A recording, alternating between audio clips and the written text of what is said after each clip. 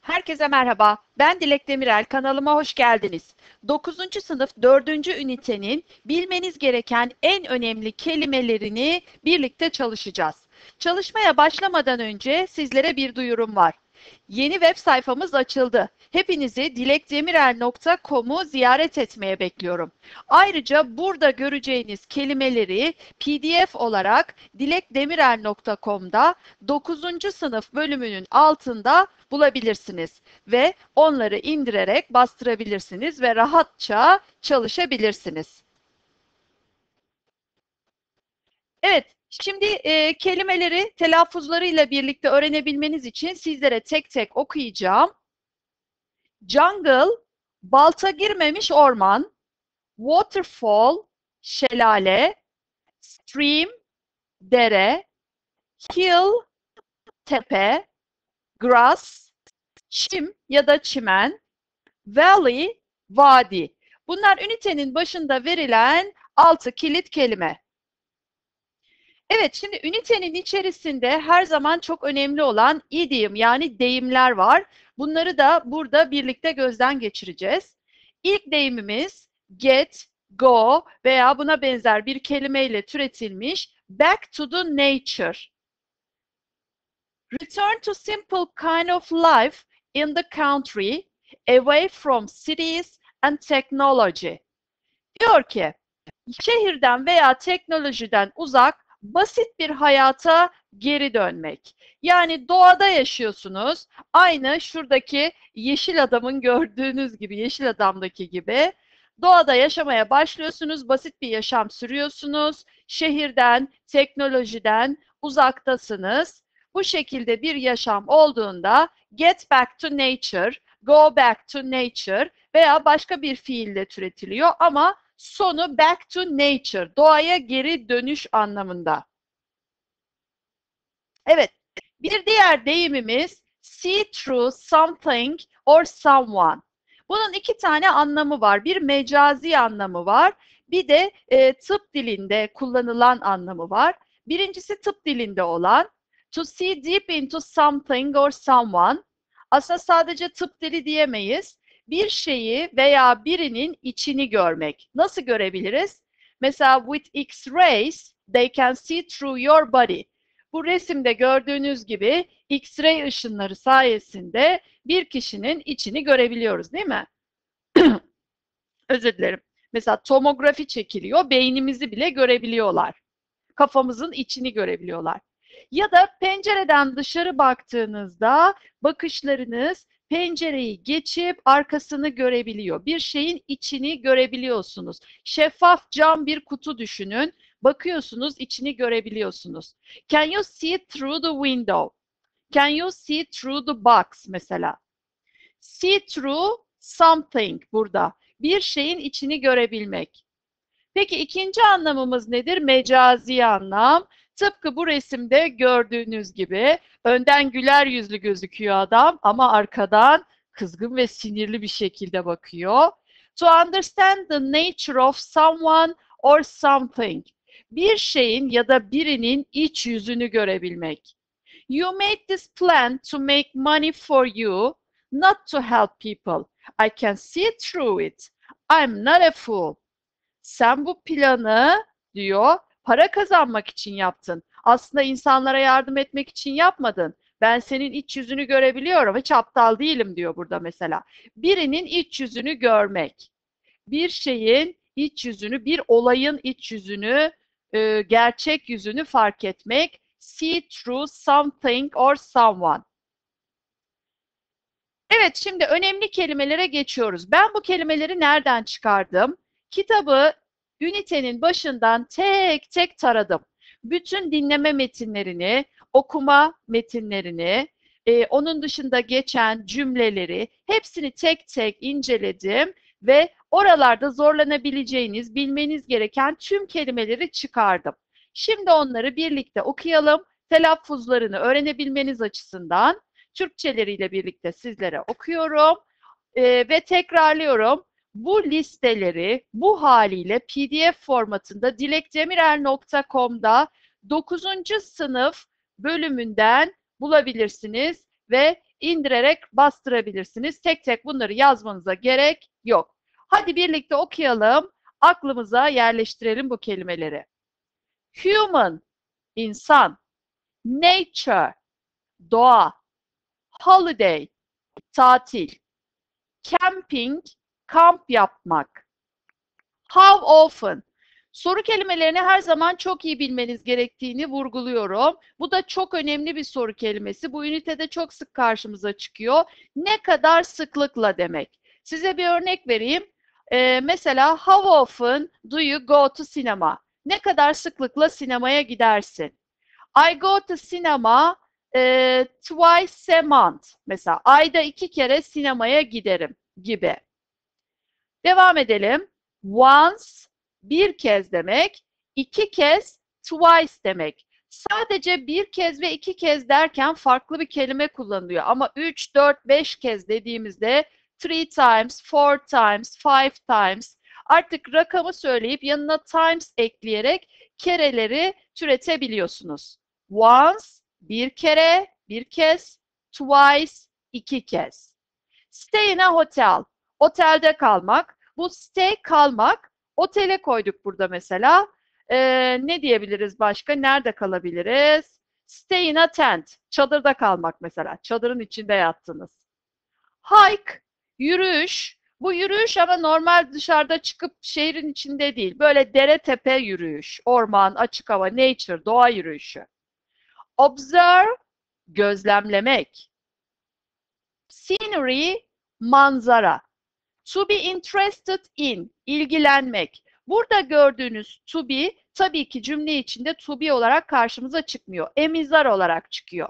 Mesela I am interested in science. Fenle ilgileniyorum. I am interested in music. Müzikle ilgileniyorum. She is interested in. They are interested in. Özneye göre am is are'dan bir tanesi to be'nin yerine geçerek interested in'le birlikte kullanılıyor. Plant, bitki. Catch fish, balık yakalamak. Catch kendi başına yakalamak demek. Make fire, ateş yakmak. Idea, fikir. Tell stories, hikayeler anlatmak. Tent, çadır. Ve mosquitoes, sivrisinek. Şu yazın başımızın derdi kanımızı emen küçük sinekler.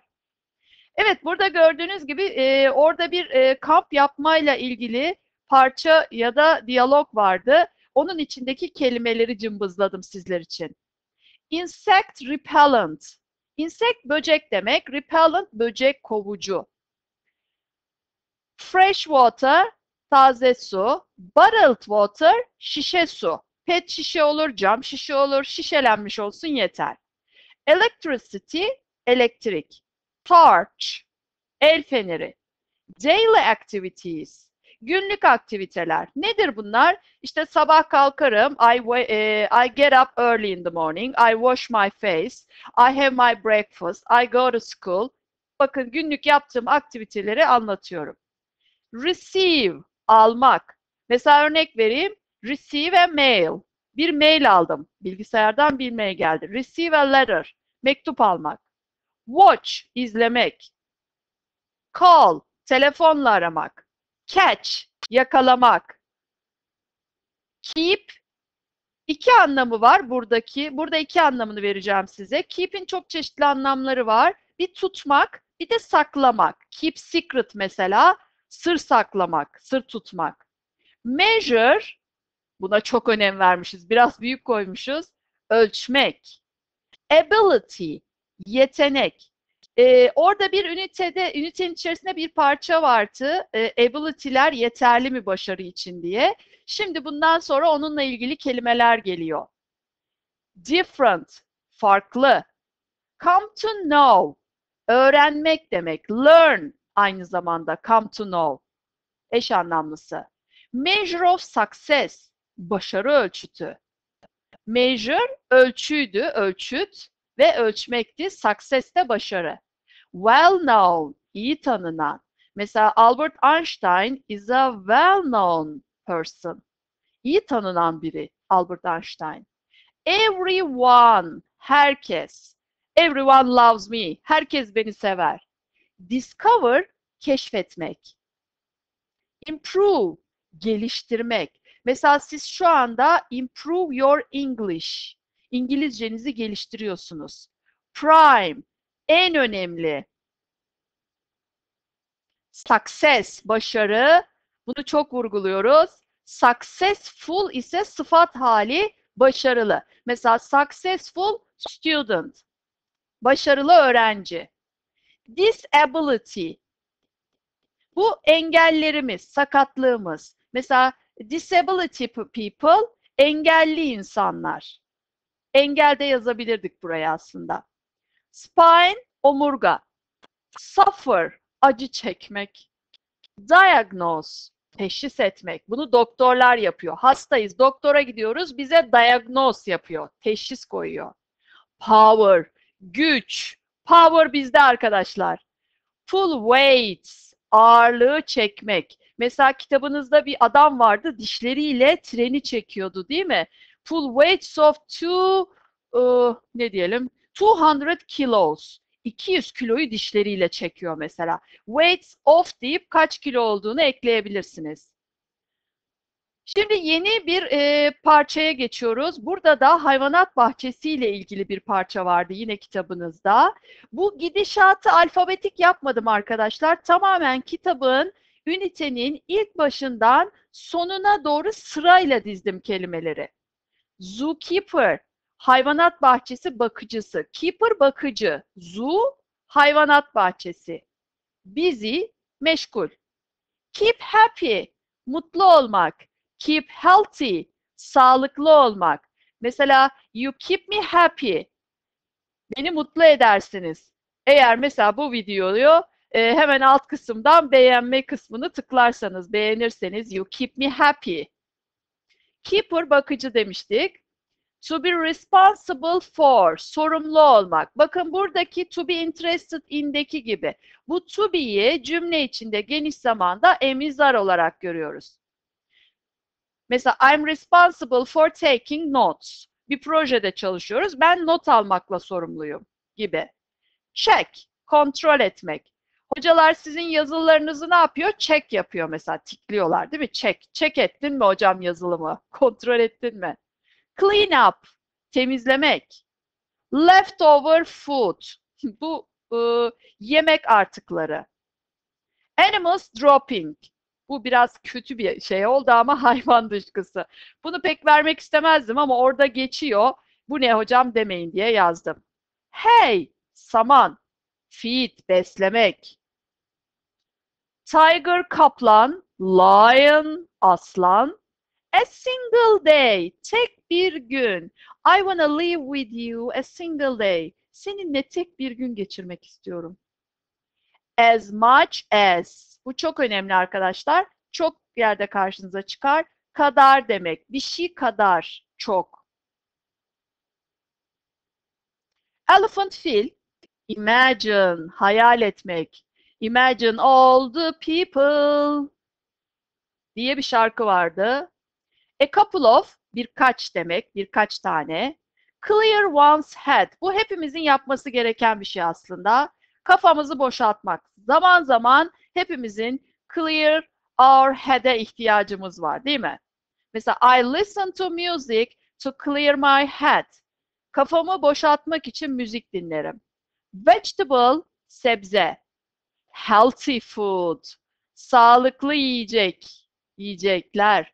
Husband, koca. Hani sizi karı koca ilan ediyorum. Var ya oradaki koca. Delicious food, lezzetli yiyecek. Delicious. Hmm. Of geldi bir delicious. Dessert, tatlı, dessert. Mesela çikolatalı kek bir dessert. Come together, bir araya gelmek. Belki sizlerle bir gün bir yerde come together oluruz. Magnitude, boyut, büyüklük.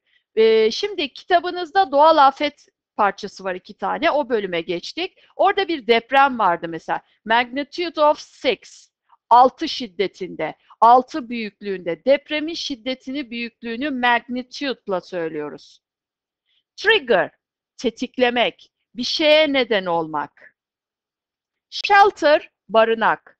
Victim, kurban. Prevent, önlemek.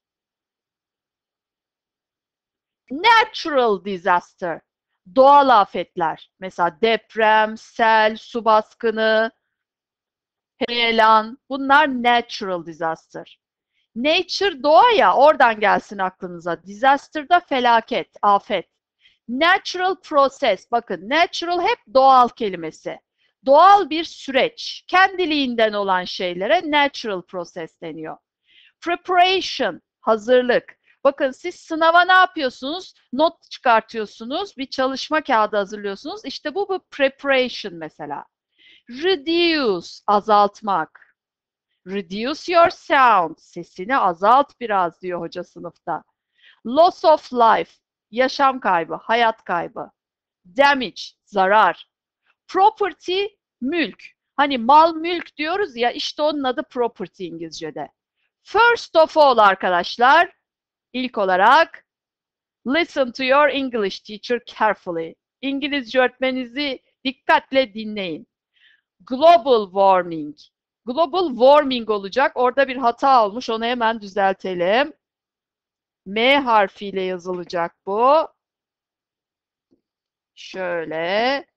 Global warming olacak. Evet düzelttik. Increase arttırmak. Drought kuraklık. Flood sel. Avalanche çığ düşmesi. Tekrar okuyorum. Bu okunuşu enteresandır. Avalanche. Heat waves. Sıcak dalgaları geldi. Hani diyoruz ya bugün sıcaklık 45 dereceye çıktı. İşte o sıcaklık dalgası. Earthquake. Deprem. Hurricane. Kasırga. Natural environment. Doğal çevre. Environment çevre demek. Artık natural'ı iyice öğrendiniz. Doğal demek. Bakın kaçıncı kere çıktı karşımıza. Natural source. Doğal kaynak. Wisely. Akıllıca. Plant, tree. Ağaç ekmek. Evet devam ediyoruz. Ne çok kelime var değil mi? Occur. Oluşmak. At least. Bu çok önemli. Birçok yerde karşınıza çıkar. En azından demek. Mesela sınavda en azından 45 almalıyım diyorsunuz ya. At, e, I at least I get at least 45 points from the exam. Mesela at least en azından. Powerful, güçlü. Hit, vurmak. Struck, o da vurmak. İkisi de. Hani deprem şehri vurdu. Struck, hit. Shortly after, kısa bir süre sonra shortly after local time yerel saatiyle saat 12'de e, deprem oldu diyor ya işte local time. Cause sebep olmak. Violent shaking. Deprem sırasında ne oluyor? Şiddetli sarsıntılar. Violent shaking. Flatten bütün binalar dümdüz oldu dümdüz etmek flatten crashed çarpmak çarpışmak Cars gelince arabalar çarpışıyor. Surrounding areas, çevre bölgeler. Surrounding, çevre demek. Rescuer, kurtarma görevlisi. Sniffer dogs, sınıf sınıf sınıf sınıf sınıf sınıf buradan gelsin. Kokluyor köpek. Hani narkotik köpekleri koklayarak buluyor ya. Mesela depremde evler yıkıldığı zaman köpekleri kokudan bulsun diye. İşte o sniffer dogs. Cutting tools, kesici aletler. Scramble, mücadele etmek. Survivor, bunu hepiniz biliyorsunuz yarışmadan dolayı. Hayatta kalmak ya da hayatta kalan kişi survivor. Survive, hayatta kalmak. Ruin, yıkıntılar, harabeler. Power cut, güç kesintisi. Elektrik kesiliyor ya, güç kesiliyor. Darkness oluşuyor power cut olunca karanlık. Evet, az kaldı bitiriyoruz. Fearful. İşte o darkness, karanlık çöktüğünde fearful bir durum oluşuyor. Korku dolu bir durum oluşuyor. Volunteer, gönüllü. Hoca diyor ki, çocuklar bir proje yapacağız. Kim benimle çalışmak ister? İlk elini kaldıran kişi volunteer, gönüllü. Rainstorm, yağmur fırtınası. Record, kaydetmek. Mesela ben şu anda e, size bu dersi anlatırken record yapıyorum, kaydediyorum. Amount, miktar. Become homeless. Şurada gördüğünüz bu less kelimesi zaten şu siz kelimesi. Yani o olmadan anlamı veriyor. Home ev, homeless ev yok. Evsiz. Evsiz kalmak. Lucky, şanslı. Infectious disease. Disease hastalık. Infectious da enfeksiyon. Peacefulness. Sükunet, sakinlik. Hepimizin buna ihtiyacı var. Peace. Huzur, barış demek zaten. Display. Göstermek. Bunun eş anlamlısı show. Onu da vermiş olayım. Show, göstermek. Diversity, çeşitlilik. Equality, eşitlik. Bunlar sıkı kelimeler arkadaşlar. Ee, kelime repertuarınıza, bilginize mutlaka katın. Bir speaking sınavında kullanırsanız hocanız böyle bayağı hoşlanacaktır bundan. Diversity, çeşitlilik. Equality, eşitlik. Snap fingers. Bakalım bunu yapabiliyor musunuz? Ben yapıyorum şu anda. Parmak şıklatmak. Tell jokes. Şaka yapmak. Ve en son say the alphabet backwards. Can you say the alphabet backwards? Öyle bir ability'niz, yeteneğiniz var mı arkadaşlar? Böyle alfabeyi A, B, C, D diye herkes sayar. Z'den geriye sayabiliyor musunuz? Video bitince bir deneyin bakalım. Biraz zorlayıcı gelecektir. Evet, dersimizi bitirdik. Tekrarlıyorum. İşte bu listeleri tek tek not alıp uğraşmak yerine dilekdemirel.com 9. sınıf bölümünün altında bulabilirsiniz, bastırabilirsiniz, bilgisayarınıza, telefonunuza indirebilirsiniz ve rahatça çalışabilirsiniz. Hatta kelime listenizi bastırdıktan sonra elinize alın, sonra bu videoyu tekrar seyredin arkadaşlar. O zaman telaffuzlarını da iyice e, anlamış olursunuz ve gördükçe de aklınıza kelimeler yerleşecektir. E video bir beğenmeyi hak etti sanıyorum. Lütfen alttan beğenmeyi unutmayın. Kanala destek olan arkadaşlara şimdiden teşekkürler. Evet 9. ünitenin konu anlatımı videosu hem e, dilekdemirel.com'da hem de tabii ki YouTube kanalında yine 9. sınıf konu anlatımı bölümünün altında mevcut arkadaşlar. E, uygulama sınavlarını da sizlerle paylaşıyorum. Eyvah uygulama sınavı e, adı altında her ünite için speaking, writing, listening ve reading bölümlerini detaylıca anlattığım videoları da paylaşıyorum. Bu üniteninkini paylaştım. Umarım izlemişsinizdir. İzlemediyseniz hemen onu izlemeye gidin diyorum. Kanala abone olup bildirimleri açmayı unutmayın. Çünkü videolar ve kelime listesi paylaşımlarım devam edecek. Aklınıza geldikçe hatta şimdi hemen dilekdemirel.com'a girmeyi unutmayın. Bir sonraki dersimde görüşmek üzere. See you later. Bye.